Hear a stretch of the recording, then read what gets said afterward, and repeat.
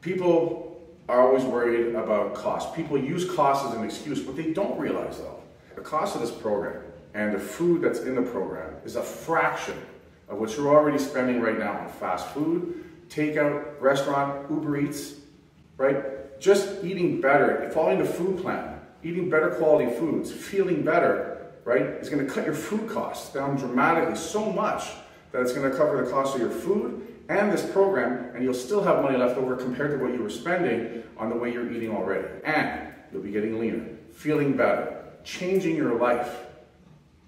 It's a no-brainer. It's a no-brainer. Guys, I want you to understand one thing. It's all about investing in yourself. Think of it this way. For every dollar you invest in yourself with something positive, you're going to get $10 back, right? So the moment you start losing weight, you start feeling better, you have more energy, and your mind clears up, and you feel better about yourself, right? What's that worth? What's the dollar value on that, right?